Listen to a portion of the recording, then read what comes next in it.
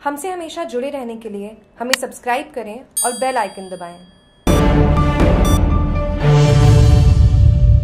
सोजत क्षेत्र में फंसे बिहार के छाछठ श्रमिकों को तीन बसों से किया रवाना। श्रमिकों के चेहरे पर झलकी खुशी। वैश्विक महामारी कोरोना वायरस संक्रमण के चलते प्रदेश में लॉकडाउन के दौरान विभिन्न राज्यों के श्रमिकों व मजदूरों को काम धंधा नहीं मिलने के कारण परेशान होकर अपने अपने गाँव की ओर पलायन कर रहे श्रमिकों को राजस्थान सरकार द्वारा इन श्रमिकों की बसों एवं ट्रेन द्वारा अपने अपने राज्यों में भेजा जा रहा है। इसी के तहत सोजत क्षेत्र में परेशान हो रहे मजदूरों को मंगलवार को राजस्थान रोडवेज़ की तीन बसों से छाछठ श्रमिक परिवार परिवारों को बिहार राज्य के लिए रवाना किया गया। इससे पूर्व उपखंड के सभी श्रमिकों को राजकीय उच्च माध्यमिक विद्यालय सोजत में एकत्रित किया गया, जहाँ चाय नाश्ता के साथ भोजन उपलब्ध करवाने के साथ ही उनकी चिकित्सा जाँच कर व सैनिटाइज करने के पश्चात सोजत के नायब तहसीलदार भागीरथ चौधरी द्वारा इनको बिहार राज्य के लिए रवाना किया गया।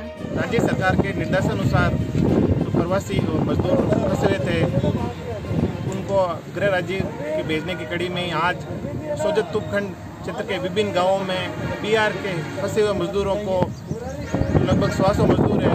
उनको विशेष बसों द्वारा रोडवेज़ की पाली पहुँचा जाएगा और वहाँ से 11 बजे विशेष ट्रेन द्वारा इनको अपने गृह राज्य बिहार भेजा जाएगा।